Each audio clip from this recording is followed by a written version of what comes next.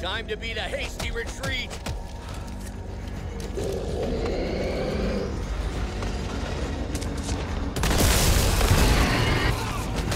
I'm all right, sir. Excellent.